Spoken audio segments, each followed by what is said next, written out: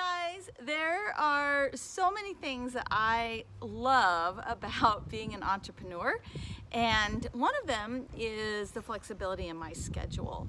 Uh, and I have to tell you, there's one very, very special thing that I love most of all, and here it is. Come here. so this is what I'm gonna do this afternoon. I'm gonna hang out with my precious littles. I've got time blocked off in my calendar, and I think, what do you think we ought to do, guys? Go. You, you wanna go swimming? Yeah. And just like that, that's the plan for the day. I hope you guys have a wonderful day. Say bye, guys. Bye. Bye.